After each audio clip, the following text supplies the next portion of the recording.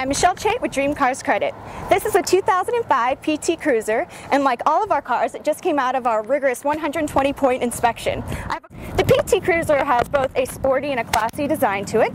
You'll notice that it has a low stance, as well as sleek and curvaceous body lines. Come around to the side of the vehicle, you'll notice the PT Cruiser badging. And what I really like about this car are the doors are very large which makes getting in the vehicle easy. Comes in this nice dark blue color, which pairs well with the dark tinted windows. And coming around the back, got teardrop taillights. And again, we have the large doors. We also have a very large hatch. You can also see it has a low overhang, which aids in loading and unloading stuff into the back of the vehicle. And there's actually a lot of space back there.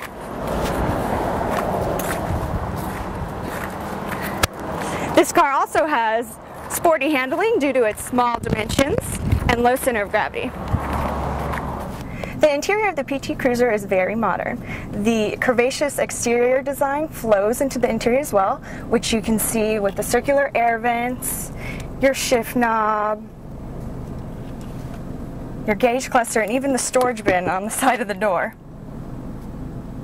It also has a really large steering wheel, which is good for cruising in your cruiser. Behind that, you'll also notice that the gauge cluster is very large and easy to read as well with the white face dials.